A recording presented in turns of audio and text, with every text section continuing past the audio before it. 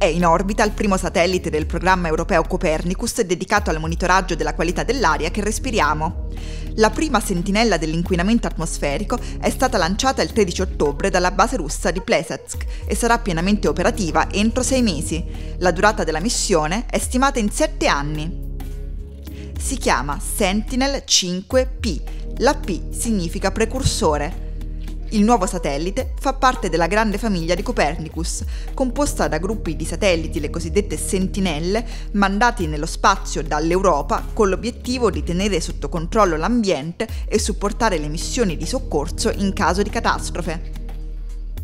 Sentinel 5P fornirà una mappa degli inquinanti che infestano l'aria della Terra dall'ozono al metano, dal monossido di carbonio al biossido di azoto, grazie al lavoro di Sentinel 5P scopriremo qual è la loro concentrazione nell'aria. Tra gli strumenti di bordo c'è Tropomi, acronimo di Tropospheric Monitoring Instrument. Si tratta di uno spettrometro in grado di vedere nell'ultravioletto, nel visibile, nel vicino infrarosso e anche nell'infrarosso stesso è in grado di inviare ogni secondo informazioni di un'area larga 2600 km e lunga 7. La luce sarà separata in diverse lunghezze d'onda e poi misurata da quattro diversi dispositivi per ciascuna banda.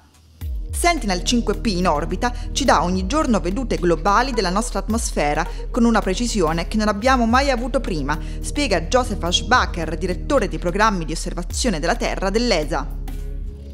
Insomma, la nuova sentinella sarà uno strumento per tenere sotto controllo la Terra che cambia. Darà una mano anche a capire con maggior dettaglio i cambiamenti climatici che interessano il nostro pianeta.